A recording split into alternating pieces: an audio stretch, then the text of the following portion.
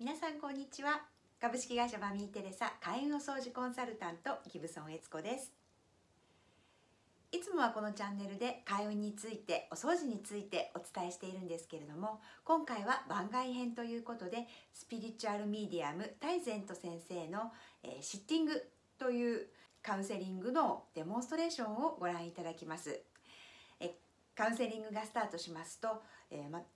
ご相談者様のオーラの状態ご先祖様、えー、守護霊様の言葉を聞いて、えー、ご相談者様に伝えていくというところをご覧いただきたいというふうに思います。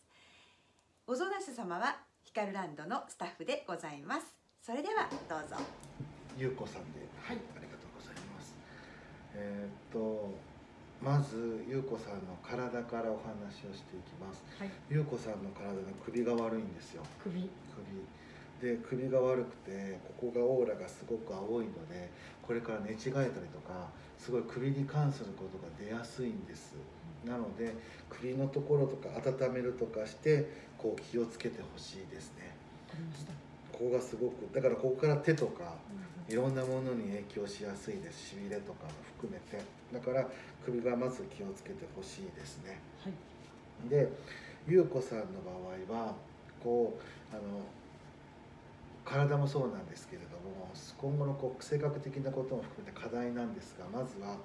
優子さんの場合こう何でも人の協力したいとか人のためにとかって言ってこうすごいオーラがオレンジとか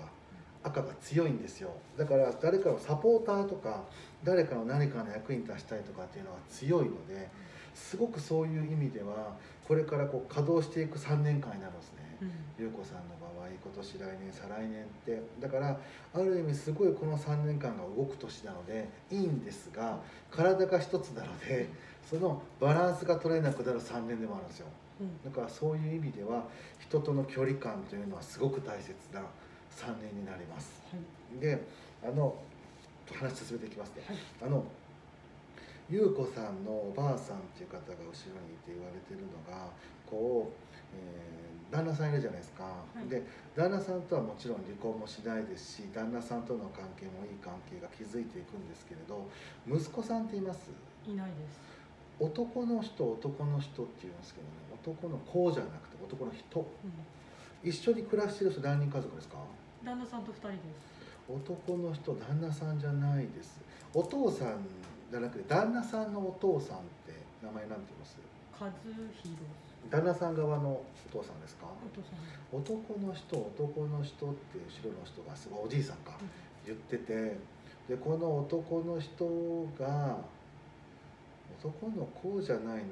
大人だと思うんですけど男の人その男の人が今後こうちょっと頭を気をつけないと、半身不随とかそういうふうになりやすいって言われてるんですよ。うん、それは私の父とかじゃなくて旦那さんがえっと優子さんのお父さん名前なんて言います？つぐおです。つぐおさんじゃない。つぐおさんの方ですね。つぐおさんが言われてるんですよ。と頭気をつけなって。おめでとうとかあります？先月2月にちょうど父手術してるんですよ。ちょっと頭関係ではないんですけど、うん、ちょっとだいぶ体が弱ってきてるので心配だな。頭を気をつけなって言われてるんです。だからそういうところが都合さんの実は今後の課題でこう優子さん自身お父さんとの関わりが強いので、まあ、一緒にガッツリいちわけじゃないんですけどやっぱり支えないといけなくなるんですって。でお父さんの場合すごい無理なさったみたいですごいこう何て言うんですかストレスとかすごい溜まってたんですって。でそれで今の体も来てるんですけどその次が頭だって言われてるのですっごい気にしちょっとかけてほしいですね、もう思いっきりこの後休むぐらいのちょっとの期間ぐらいの時間は大事ですね。す。っごくそれを言われてます、はい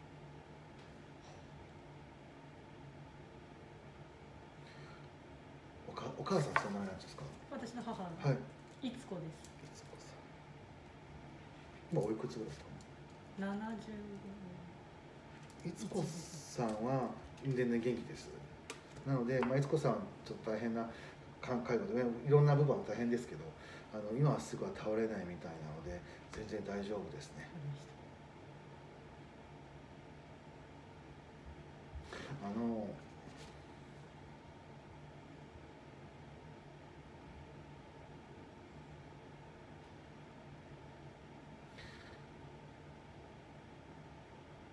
ちょっと触れていいですか？触れていいですか？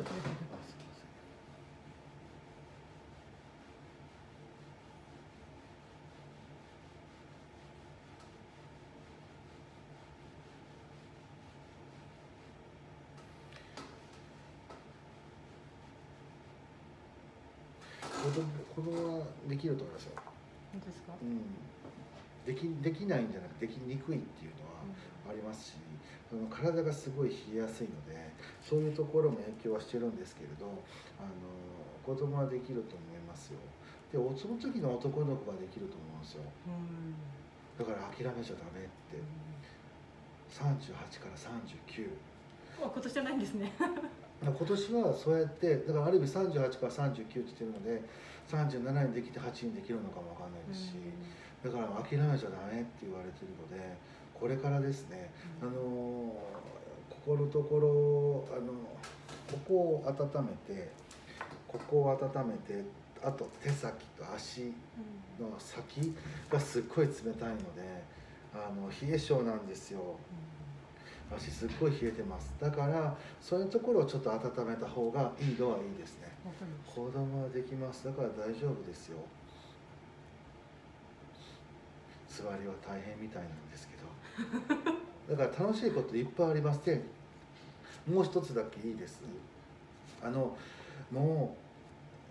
う子供ができたら仕事辞めなって言われます。だからまあそんなに、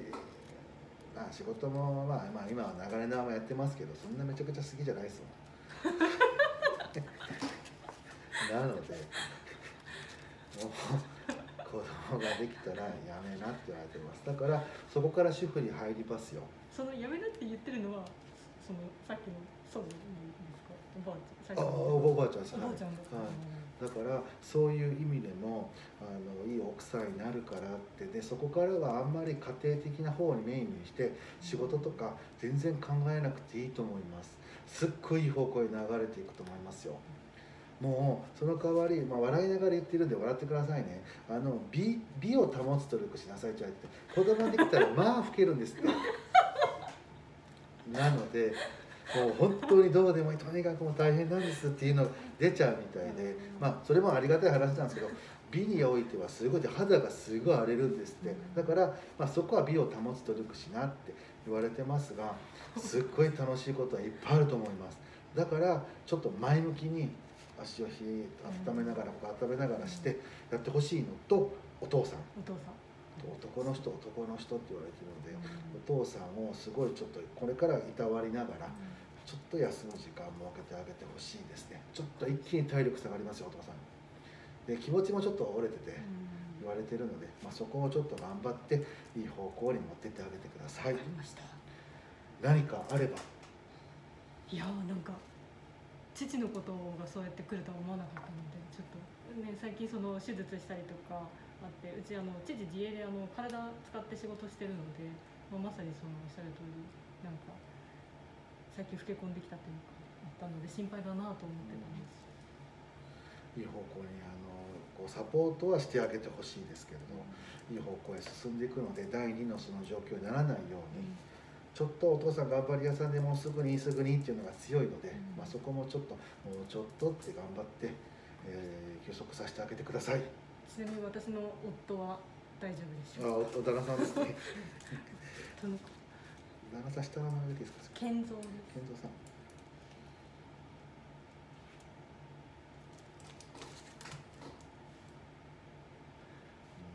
あの健三さんってこ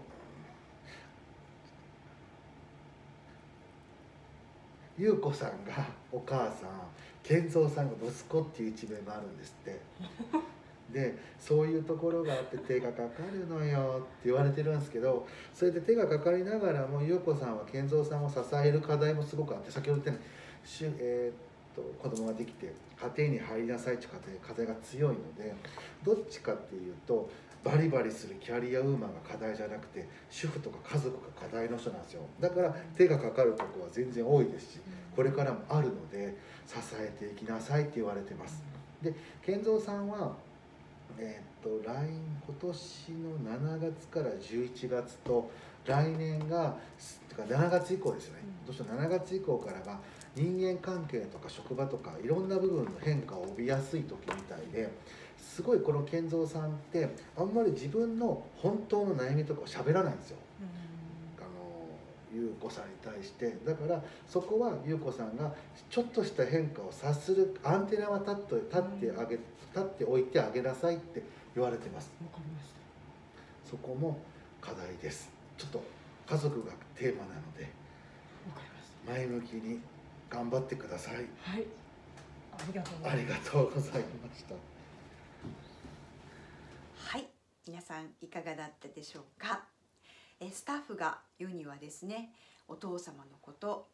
お子さんが欲しいと思っていたことそれから首の痛みその辺をズバズバズバと言われてかなりびっくりしたというふうに言っておりました。マスクをしてたので口が見えなかったんですけど口結構あんぐりだったというふうに申しておりました。タイ先生のスピリチュアルカウンセリングヒカルランドの方でご提供しております概要説明欄に申し込みページへのリンクがありますのでぜひそちらからお申し込みいただければというふうに思っておりますえ今回見ていただいたのは最初のそのシッティングの部分だけですのでこの後1時間ですね先生にいろいろ質疑応答していただくことができますのでいろんなご質問をご用意になってお越しください。えっと、Zoom での、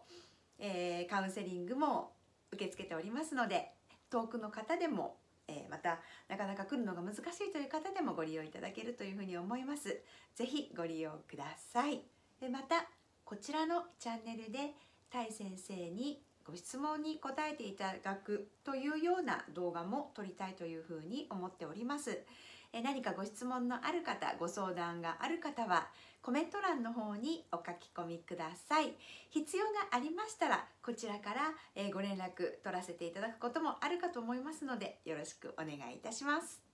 開運お掃除コンサルティングではご自宅へのご訪問または遠隔で場の浄化